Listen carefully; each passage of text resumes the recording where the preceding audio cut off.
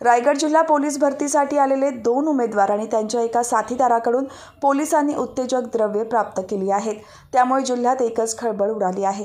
दोघांच्या रक्ताचे नमुने पुढील तपासणीसाठी मुंबईला पाठवण्यात आले आहेत.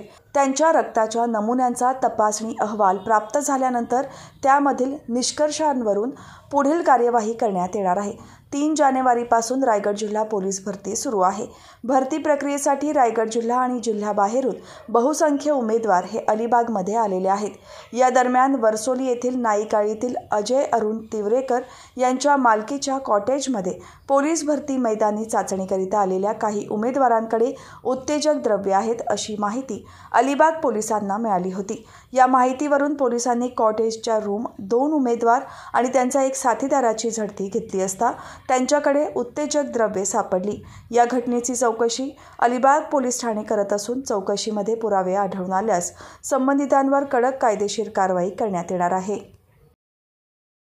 पनवेल आणि नवी मुंबईच्या ताज्या घडामोडींसाठी मल्हार टीव्ही न्यूज सबस्क्राईब करा आणि बेल आयकॉन दाबून रहा अपडेट.